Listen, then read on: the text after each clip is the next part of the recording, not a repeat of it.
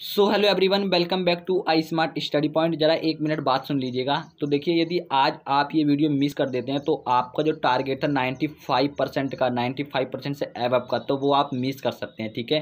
क्योंकि आज के इस वीडियो में हिंदी के बाईस ऐसे टॉपिक के बारे में बात करेंगे, जिनसे आपका पूरा का पूरा पेपर छपने वाला है। यदि आप इन बाईस टॉपिक को कर लेते हैं तो बहुत ज़्यादा चांस है कि आप हंड्रेड नंबर में से नाइन्टी नाइन या नाइन्टी फाइव नंबर बहुत ईजिली आप गेन कर सकते हैं, ठीक है? तो बाकी हिंदी की प्लेलिस्ट मैंने बना दी है दो हज़ार बाईस तेईस के लिए। उसका लिंक आपको डिस्क्रिप्शन बॉक्स में मिल जाएगा। Physics chemistry math Hindi English और बायोलॉजी सबका लिंक आपको डिस्क्रिप्शन बॉक्स में मिल जाएगा। चलिए इसको स्टार्ट करते हैं, ठीक है? टॉपिक की ओर बढ़ते हैं अपने। तो आज के इस वीडियो में हिंदी के 22 ऐसे टॉपिक के बारे में बात करेंगे। यदि आप इन 22 टॉपिक को पढ़ लेते हो तो बहुत ज़्यादा चांस है कि 100 में से 95 परसेंट एवब आपका नंबर आएगा, ठीक है? ट्वेल्थ हिंदी के इन 22 टॉपिक को किसी कीमत पर मत छोड़ना। 2023 बोर्ड एग्ज़ाम के रिगार्डिंग बहुत ज़्यादा इंपॉर्टेंट है भाई, ठीक है? तो बाकी मैंने प्लेलिस्ट बना दिया दो हज़ार बाईस तेईस के लिए। उसका लिंक आपको डिस्क्रिप्शन बॉक्स में मिल जाएगा। इसका सबका सॉल्यूशन भी आपको उसी प्लेलिस्ट में मिलेगा, जाके जल्दी से जल्दी चेक कर लीजिए। तो पहला जो टॉपिक आता है, वो आता है हिंदी के बहुविकल्पीय प्रश्न। भाई, बहुत ज़्यादा इंपॉर्टेंट है, हर बार पूछे जाते हैं बहुविकल्पीय क्वेश्चन आपके एग्ज़ाम में, ठीक है? तो देखिए, मैंने बहुविकल्पीय क्वेश्चन चालीस पचास क्वेश्चन मैंने आपको प्रोवाइड करा दिए हैं, लगातार मिलते रहेंगे आपको। अभी बहुत, अपना टाइम बहुत टाइम अपने पास। तो आपको भी कम से कम डेली के पाँच बहुविकल्पीय क्वेश्चन आपको तैयार करने पड़ेंगे।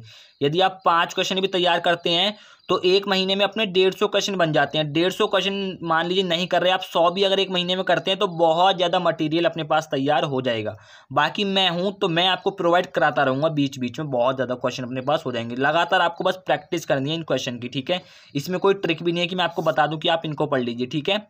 अब आते हैं दूसरे टॉपिक पे। तो टॉपिक नंबर दो, अपना महत्वपूर्ण गद्यांश, इतिहास गवाह है कि आपके दो चैप्टर जो हैं राष्ट्रीय का स्वरूप और अशोक के फूल, इन्हीं में से आपका महत्वपूर्ण गद्यांश बना है। तो इसके रिलेटेड आपको गद्यांश देख लेने क्वेश्चन देख लेने बहुत बार आपका इन्हीं दोनों चैप्टर में से गद्यांश बन चुका है। बहुत ज़्यादा इंपॉर्टेंट है। और इसका जो लेखक है, राष्ट्रीय का स्वरूप, इनके जो लेखक हैं, वो है वासुदेव शरण अग्रवाल और अशोक के फूल के लेखक हैं, हजारी प्रसाद द्विवेदी। दोनों का जीवन परिचय आपको कर लेना है भाई। पहले बता रहा हूँ, दोनों का, दोनों जीवन परिचय आपको कर लेना है। द्विवेदी जी का तो मैंने करा दिया है और अग्रवाल जी का मैं आपको कल करा दूँगा। तो आपको दोनों के, दोनों जीवन परिचय अच्छे से कर लेने हैं, ठीक है? टॉपिक नंबर तीन जो है भाई, बहुत ज़्यादा इंपॉर्टेंट है। महत्वपूर्ण पद्यांश। इतना इंपॉर्टेंट है कि हर बार आपके एग्ज़ाम में पूछा जाता है। तो देखिए, पहला है पवन दूतिका दूसरा है श्रद्धा मनु, तीसरा है गीत। तो बहुत ज़्यादा चांस रहते हैं कि आपका जो पद्यांश बनेगा, वो इन्हीं चैप्टर्स में से बन जाएगा। तो आपको अच्छे से कर लेना है इन पूरे पवन दूतिका की हर लाइन की आपको हिंदी मीनिंग ऐसी श्रद्धा मनु की, गीत की, इन सब की, हर लाइन की हिंदी मीनिंग आपको याद होनी चाहिए, तभी आप कर पाएँगे, ठीक है? अब इनके बात करें कवियों के जो जीवन परिचय हैं तो पवन दूतिका के जो कवि हैं, वो हैं अयोध्या सिंह उपाध्याय, जिन्हें, जिनका उपनाम है हरिओध तो इनका जीवन परिचय आपको कर लेना है। और श्रद्धा मनु के जो कवि हैं, वो हैं जयशंकर प्रसाद जी। तो इनका जीवन परिचय आपको कर लेना है। गीत की जो कवि हैं, वो है महादेवी वर्मा जी। तो इनका भी आपको जीवन परिचय हर हालत में कर लेना है। जीवन परिचय बहुत पूछे जाता है। अब देखिए टॉपिक नंबर चार जो वही है, लेखक का जीवन परिचय। यहाँ पे आपको लेखक का जीवन परिचय बोला है। तो दो लेखक ऐसे हैं जिनका जीवन परिचय बहुत बार आ चुका है। पहले हैं वासुदेव शरण अग्रवाल जी, अभी यहाँ पे मैंने आपको बताया था इंपॉर्टेंट है। तो वासुदेव शरण अग्रवाल जी का आपको कर लेना है और द्विवेदी जी हजारी प्रसाद द्विवेदी जी का तो मैंने आपको करा दिया है। अग्रवाल जी का मैं आपको कल करा दूँगा। बहुत ज़्यादा इंपॉर्टेंट है जीवन परिचय, ठीक है? आते हैं अपने अगले टॉपिक पे। तो अगला टॉपिक है अपना पांचवा, कवियों का जीवन परिचय। तो कवियों का जीवन परिचय भी बहुत ज़्यादा इंपॉर्टेंट है। पहले हैं जयशंकर प्रसाद जी, यहाँ बताया था आपको अभी। और दूसरे हैं महादेवी वर्मा जी। दोनों का जीवन परिचय ऐसा है कि बहुत बार आपके एग्ज़ाम में पूछा जा चुका है। और इसके अलावा भी आपको कर लेना है और भी। अयोध्या सिंह उपाध्याय भी मैंने आपको दे रखा है यहाँ पे। इसके अलावा भी आप कर सकते हैं, ठीक है? बहुत ज़्यादा इंपॉर्टेंट है। ये मैंने आपको इसलिए लिख रखे हैं, ठीक है?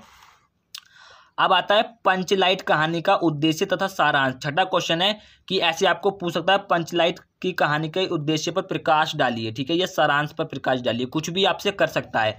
तो पंचलाइट कहानी का उद्देश्य और सारांश आपको अच्छे से देख लेना है, बहुत ज़्यादा ईजी है। अगर कोई वीडियो आपको प्ले कर लेंगे, अगर आप लिखेंगे भी नहीं, केवल देख लेते हैं तो भी आपको याद हो जाएगा, बहुत सिंपल है, ठीक है ये? सातवा अपनी एक और कहानी है, बहादुर कहानी। तो इसका भी आपको उद्देश्य देख लेना है और सारांश इसका भी आपको देख लेना है। एक ना एक यहाँ से आपकी बनेगी ही बनेगी, ठीक है? दोनों का दोनों आपको अच्छे से देख लेने हैं, बहुत ज़्यादा इंपॉर्टेंट है। अब आता है खंड काव्य ठीक है? देखिए भाई, खंड काव्य में मैं आपको नहीं दे सकता कि क्या इंपॉर्टेंट है, क्या नहीं है। कुछ भी यहाँ से बन जाता है, हर किसी स्टेट का अलग अलग होता है कि आप तक किसी स्टेट का कैसा और किसी स्टेट का कहाँ पे क्या पूछे जाता है, ठीक है? तो इसमें आप अपने स्टेट के अकॉर्डिंग ही आपको पढ़ना है कि आपके स्टेटिंग स्टेट में क्या पूछे जाता है, ठीक है?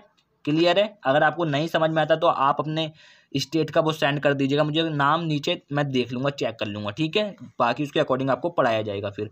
यहाँ तक अपना पचास नंबर बन जाता है, ठीक है? यहाँ तक आपका पचास नंबर का वो पूछेगा, बाकी इसके नीचे आपका पचास नंबर का पूछेगा। क्वेश्चन नंबर नाइन यानी कि टॉपिक नंबर नाइन आपका संस्कृत का महत्वपूर्ण गद्यांश। तो संस्कृत का महत्वपूर्ण गद्यांश आपको किसी भी कीमत पर नहीं छोड़ना है, संदर्भ आपको इसका देख लेना है और आपको इसका हिंदी अनुवाद आपको देख लेना है, हिंदी अनुवाद भी आपको लिखना होता है, ठीक है? संदर्भ यानी कि किस चैप्टर से क्या है, ये आपको देख लेना है। अगर आप इतना कर लेते हैं और हिंदी अनुवाद इसका तो सात नंबर आपके बिल्कुल पक्के हो जाते हैं, ठीक है? क्लियर है? और बहुत ज़्यादा चांसेस है कि यहाँ पे आपको जो दो चैप्टर है संस्कृत में, एक है संस्कृत भाषा या महत्तम और दूसरा है महत्तम और ये जो है महाना महामना मालवीय ठीक है? यहाँ से बहुत ज़्यादा चांस है कि आपका जो है गद्यांश बनेगा, ठीक है? तो इन दोनों का आपको क्या करना है, हिंदी अनुवाद और संदर्भ आपको अच्छे से कर लेना है, ठीक है? दसवें को देखते हैं। दसवां संस्कृत का महत्वपूर्ण पद्यांश। तो पद्यांश भी बहुत ज़्यादा बनता है।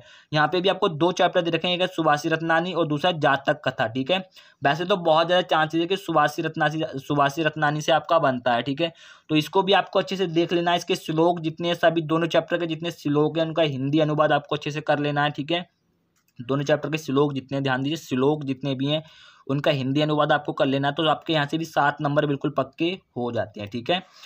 आप देखिए, ग्यारहवा, बारहवा, तेरहवा, ये तीनों टॉपिक ऐसे हैं कि इनको आपको मैं कुछ बता नहीं सकता कि इसमें क्या इंपॉर्टेंट है, क्या इंपॉर्टेंट नहीं है, क्योंकि महत्वपूर्ण मुहावरे तथा लोकतियाँ, ठीक है? मुहावरे आपके इतने सारे होते हैं, कहीं से भी कुछ भी पूछ लेगा। संधि विच्छेद आपका मैं यही नहीं कर सकता कि विद्यालय का, सुरेश का या फिर किस गच्छति का, इनका इंपॉर्टेंट है तो कुछ भी आपको संधि विच्छेद में वो दे सकता है। बस आपको करना क्या कि केवल प्रैक्टिस यदि आप करेंगे तो प्रैक्टिस भी अगर आप करेंगे, विभक्ति और बचान ये तीसरा टॉपिक है।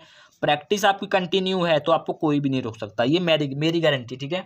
क्योंकि ये क्वेश्चन ये टॉपिक ही आपके ऐसे हैं कि इसमें अगर आप प्रैक्टिस की आपको प्रैक्टिस ही चाहिए।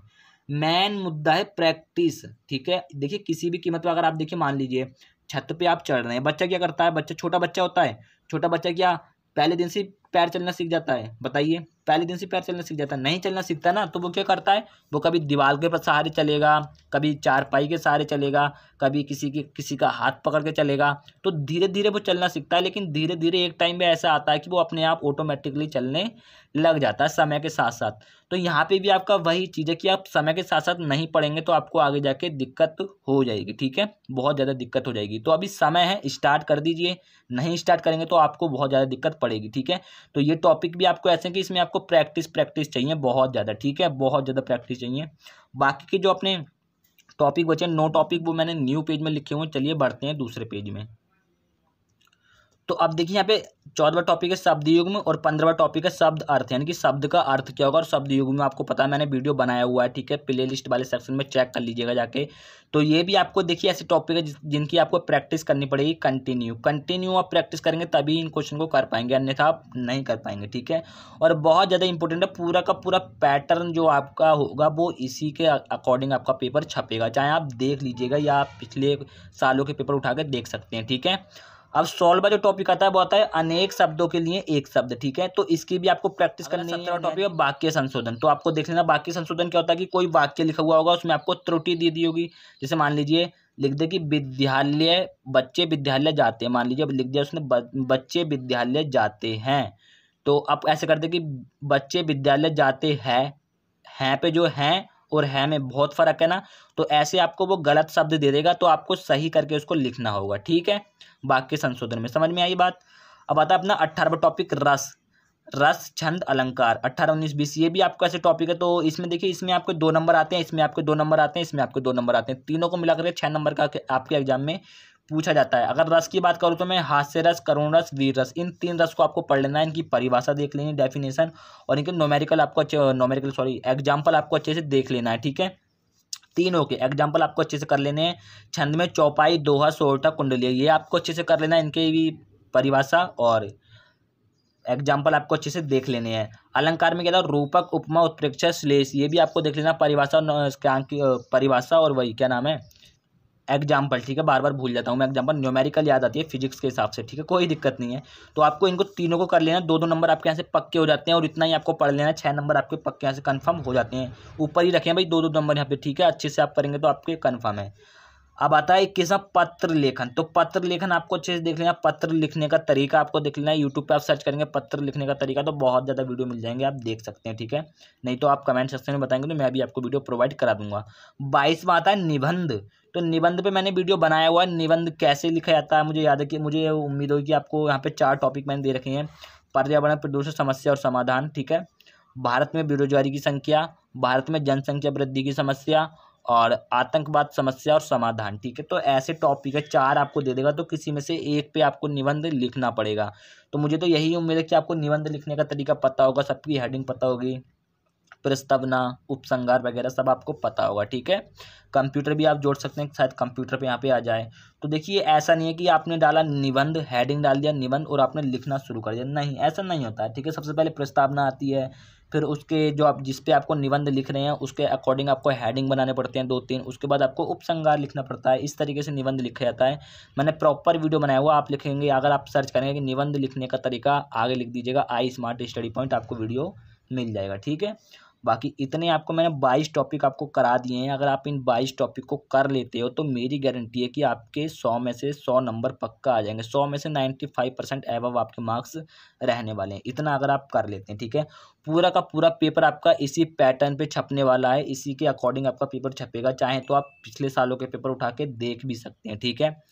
तो बाकी देखिए प्ले लिस्ट वाले सेक्शन में चले जाइएगा, वहाँ पे आपको physics chemistry math biology Hindi English सभी की वीडियो मिल जाएँगी प्ले लिस्ट मैंने बनाई हुई है, ठीक है? इसी के साथ हम मिलेंगे किसी नेक्स्ट वीडियो में, तब तक के लिए जय हिंद, वंदे मातरम, भारत माता की जय।